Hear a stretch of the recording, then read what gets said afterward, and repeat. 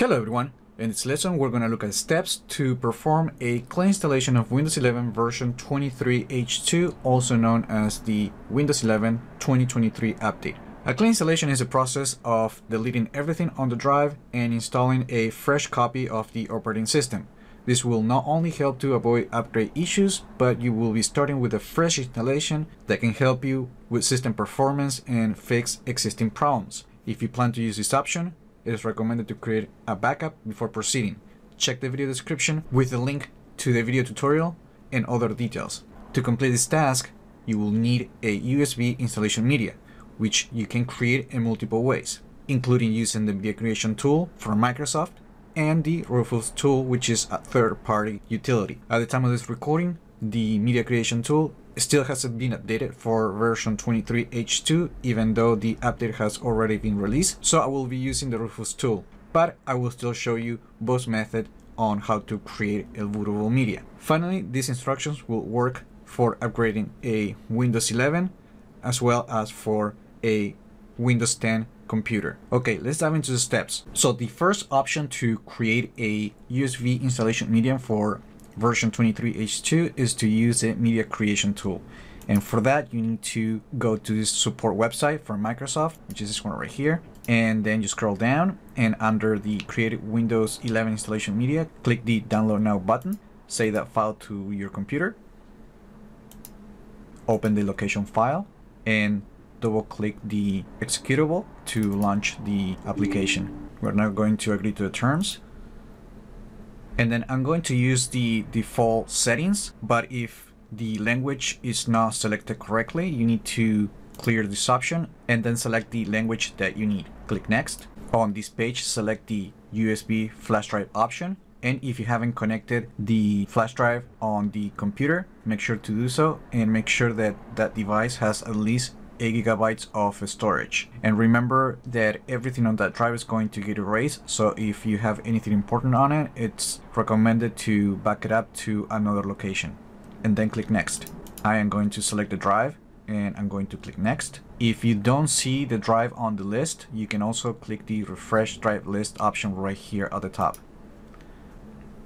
And now the application is going to download the installation files and it's going to create the bootable media for the new version of Windows 11. Once the application finishes creating the bootable media, you can click the finish button to complete the process and close the application. Now you can either leave the USB bootable media on the computer if that's the device that you're trying to upgrade or connect it to the device that you want to upgrade. Also, you have to make sure that that device can boot from USB and those settings are different per manufacturer and per device. So make sure to check your device manufacturer support website for more details on how to update the UEFI settings. Once you do that, just restart the computer to start the installation. Another way to create an installation media is to use the Rufus tool, which is not from Microsoft, but it works well. And if you want to use that option, you need to go to this website and then on the page, click to download the latest version and save that file to your computer. Now open the location file and we're going to double click the file to launch the application. If you get this option, click yes.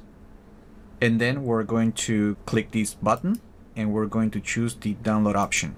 If you don't see this option, go to the settings page and make sure that the check for updates is set to daily, close, and you might need to restart the application. Then click the download button. Select Windows 11 and click continue. Select the version that you want to install, in this case 23H2, and click continue.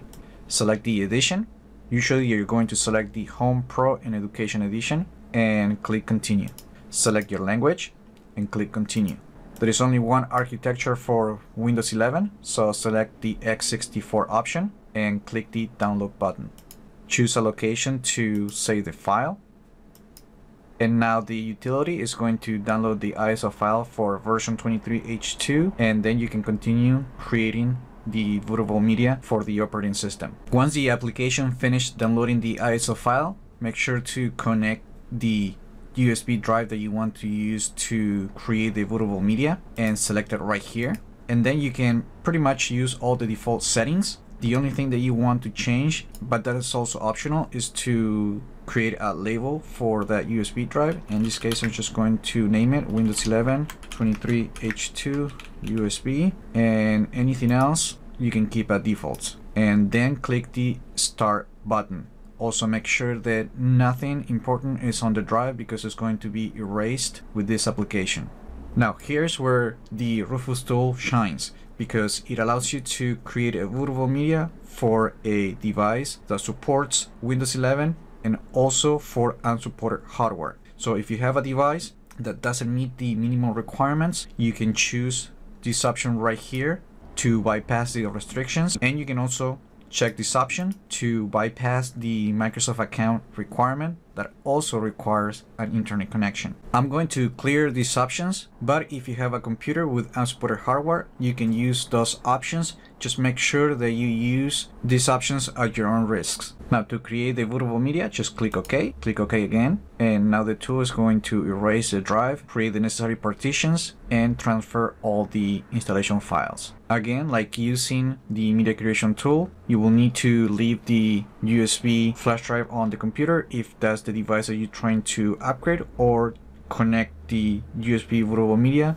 on the device that you want to upgrade and then reboot the computer to start the setup. And like I said before, make sure that the device can boot from from USB and you need to change those settings from the BIOS if it is not set. And you need to check your manufacturer support website for more details on how to do those changes. Usually, you only need to start the computer and press one of the functions keys or the delete key to enter the BIOS and change the settings. After the process has been completed, you can close the application. And now we need to restart the computer to start the installation process.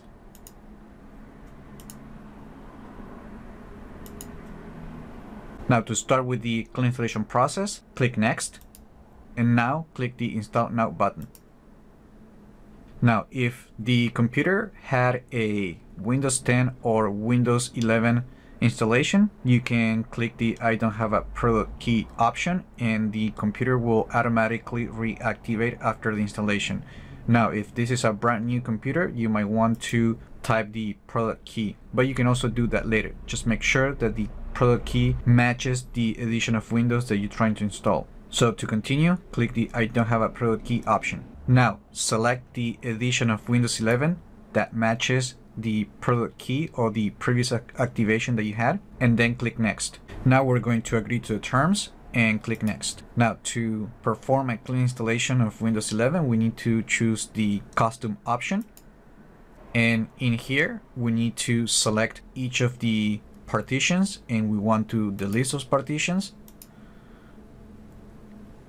Now, if you have multiple drives, you only need to remove the partitions from the drive that you want to install Windows 11. So now select the unallocated space on the drive and click next to continue with installation.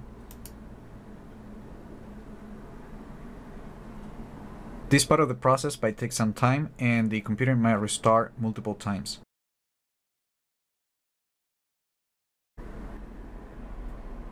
And now we need to complete the initial setup of Windows 11. And for that, we need to we need to start by choosing the region and then click yes. Select the keyboard layout and click yes. If you need to add a second keyboard layout, you can do it right here, but you can skip and do this later.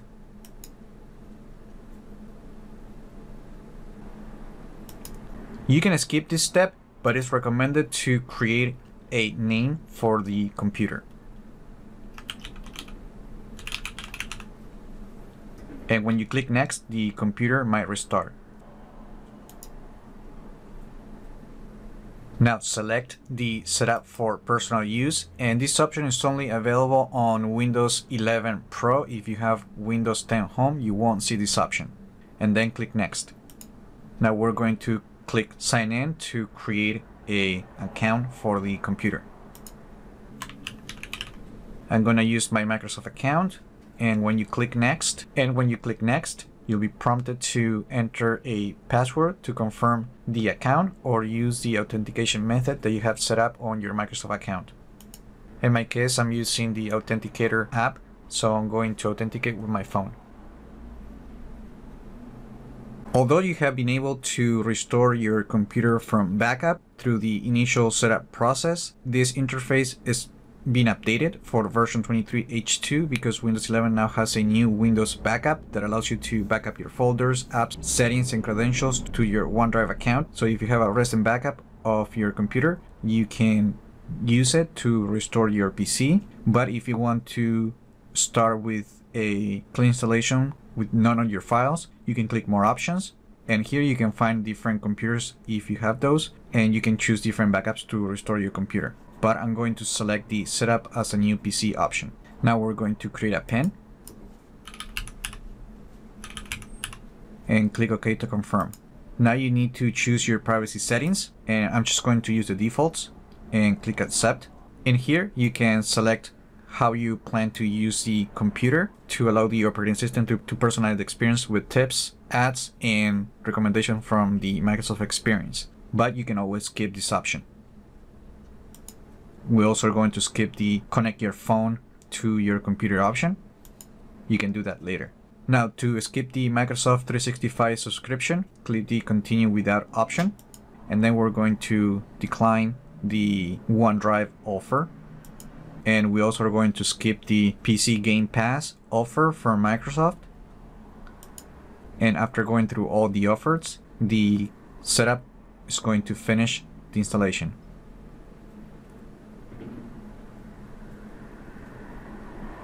And that's it. Now we have completed a clean installation of Windows 11 version 23H2. You can quickly tell that we're in the newest version because we have the option to open Copilot. And also when you open the settings app, you will notice that we have the new homepage. Also, if we go to system and then we go to the about page, we're going to see that the version is set to 23H2. Remember to like the video, leave your comments, subscribe to the channel if you haven't done that yet, and I just hope this video was informative for you, and I would like to thank you for viewing.